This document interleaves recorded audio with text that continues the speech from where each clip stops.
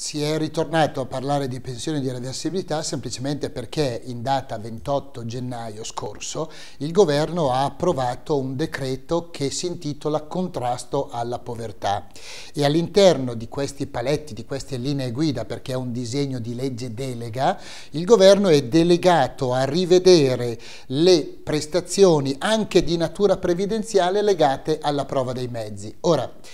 le prestazioni previdenziali legate alla prova dei mezzi sono l'assegno sociale, la pensione sociale, l'integrazione al minimo, la maggiorazione sociale, la quattordicesima mensilità, sono tante queste prestazioni, ma non quelle di reversibilità, per cui se non c'è un disegno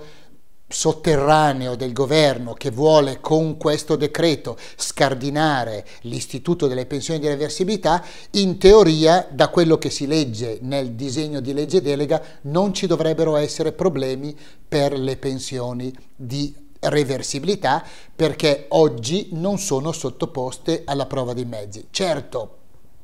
se si dovesse toccare, fare cassa con le pensioni di reversibilità, sarebbe veramente A, un errore clamoroso da parte del governo, B, sarebbe comunque una manovra che andrebbe contro tutti i canoni, anche perché poi bisognerebbe rimodificare l'intero sistema che in Italia si chiama IVS, invalidità, vecchiaia e superstiti. Quindi mi auguro che il governo non faccia uh, un altro errore in materia di previdenza. Allora dobbiamo dire che e questo appare chiaro dal rapporto che noi presenteremo tra qualche giorno al governo,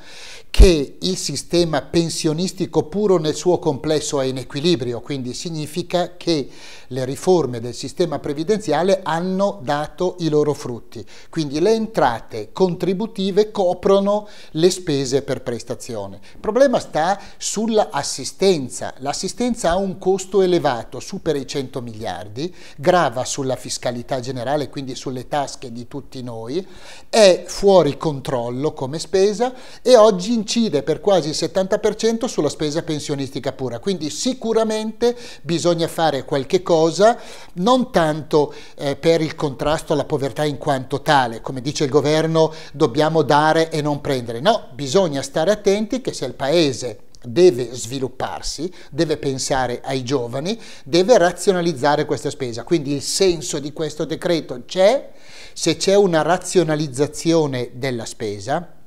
una riduzione degli istituti assistenziali mirati alle persone che davvero ne hanno bisogno e soprattutto una revisione della contabilità dello Stato perché oggi le spese per assistenza che fa un ente locale, un comune, una provincia, una comunità montana non vanno nel conto della pubblica amministrazione. Noi abbiamo stimato 9 miliardi ma probabilmente sono molti di più. E la stessa cosa la casa. Quindi se si rivede la macchina, si fa un restyling di tutte le prestazioni prestazioni e si dà quindi ai veramente bisognosi è un conto. Se noi oggi in Italia abbiamo su 16 milioni di pensionati il 50% che sono assistiti, c'è qualcosa che non va perché il nostro paese non è un paese del terzo mondo dove la metà dei lavoratori non ha lavorato, quindi occorre rivedere in toto questo meccanismo.